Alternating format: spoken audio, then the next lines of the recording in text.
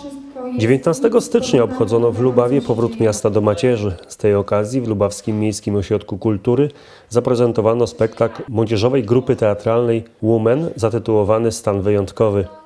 Spektakl Stan Wyjątkowy powstał podczas warsztatów w oparciu o scenariusz Krystyny Hołoniewskiej Poczekalnia.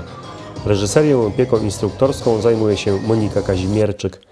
W nawiązaniu do dnia odzyskania przez Lubawę niepodległości reżyser powiedziała, iż okazuje się, że mimo bardzo współczesnego młodzieżowego języka użytego w spektaklu, nawiązuje on do problemu ponadczasowego zniewolenia, uzależnienia, manipulacji przez system czy układ. Tak jak przed kilkudziesięciu laty w istniejącym w Lubawie obozie domu przymusowej pracy dla nieletnich, młodzież była uwięziona, tłamszona i prześladowana w zamknięciu i ucisku. Taki w spektaklu Stan Wyjątkowy grupa młodych ludzi wpada w zasadzkę cywilizacji systemu. Zamknięcie wywołuje skrajne zachowania u ludzi, dochodzi do wielu konfliktów, rodzi się tęsknota, uczucie oszukania i porażki. Antidotum i jedyną deskę ratunku na oprawców stanowi obrona wartości wiary i nadziei. Wszystko to łączy oba spektakle i sprawia, że widz ma szansę odrobić zaległą lekcję z historii swojego miasta, ale również zawalczyć o swoją wiarę i system wartości.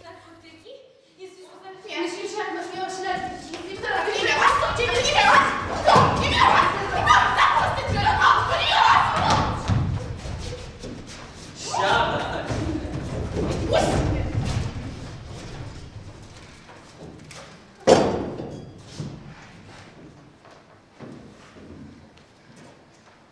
Wiecie, co wam jeszcze powiem? Leczny, ułożony, prawiczek z tablecikiem. Nic nie gada, tylko słucha.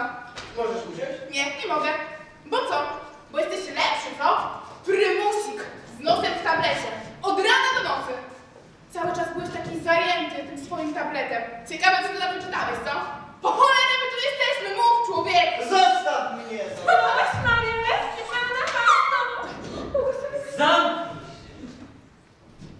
wiesz co? Ty masz chyba rację. Mówiłam, On jakiś dziwny jest. Ty, powiedz, wiesz coś? mów!